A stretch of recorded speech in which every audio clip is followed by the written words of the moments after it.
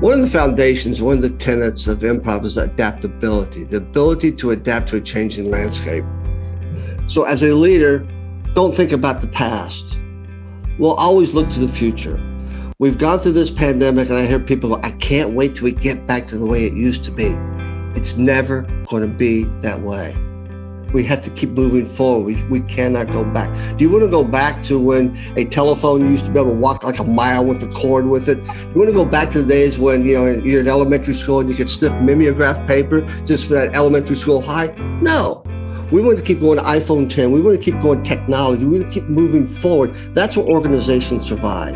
That's what organizations uh, flourish. But if we're resistant to that change, the organization will fail. Leaders look forward, leaders have vision, and leaders are adaptable in a changing business landscape. Thank you.